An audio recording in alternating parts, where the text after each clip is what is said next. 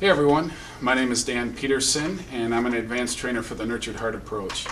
I wanted to let you know of a new resource that's available for those of you that are interested in additional ways to implement the Nurtured Heart Approach in your home, your school, or your office. Uh, it's an ebook that I created along with some other advanced trainers, some parents, teachers, even some clients that is geared towards giving you hands-on concrete ways to implement this approach in whatever setting you work in.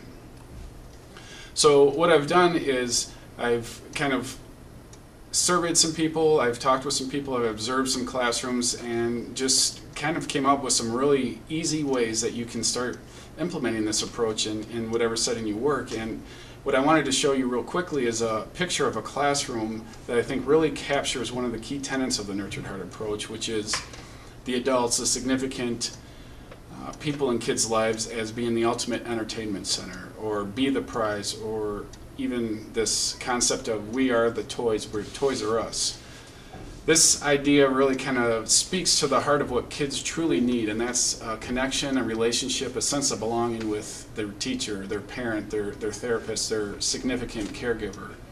And that a lot of the behavior they have is really rooted in how do I get that relationship need met? This classroom that I'm about to show you, I think, really encapsulates a, a teacher who truly understands that their mission, their primary purpose, purpose as a teacher is to be that ultimate entertainment center. Traditionally, what you'll see in classrooms um, are classrooms where desks are set up in pods where all the students are kind of just in different clumps or in different rows, but usually the teacher is either at the front or the side of the class and when a kid becomes disruptive or becomes defiant or disrespectful, maybe even impulsive, they usually get sent to move their desk right next to the teacher. And although this makes sense because the teacher really wants to keep a closer eye on, on the student, it sends a really conflictual message to the kid. And that message is, I am more available, I pay more attention, you get to be close to me when you make a mistake. And although the student really truly wants that, and maybe being disrupted to get that need met, it actually sends this message that I'm more important to the teacher when I have problems. So I wanted to show you a, a quick picture of this classroom that I think really confronts that, that, um, that issue in, in a way that helps kids get their needs met, helps the teacher be the prize, and helps download to the kids that they are important, that they can get their needs met whenever they need to and, and however they need to. So let me move out of the way. We'll talk a little bit about this classroom. So here, here's what the classroom actually looks like. As you can see, the, the teacher's desk, which is, you know, the, the laptop, the projector, it's kind of hard to see because there's a lot of things in the way, but really what he has decided to do is say that I'm going to be the center of this classroom. I'm going to actually make it the norm where the desks that you can see, I think there's actually one, two, three, four, five, six, seven desks that are actually bumped up against his. Now, these aren't the kids that got bumped there because they're in trouble. These are the kids that maybe are impulsive, maybe energy challenged, maybe just kind of high needs, but he's made it the norm for them to be next to him.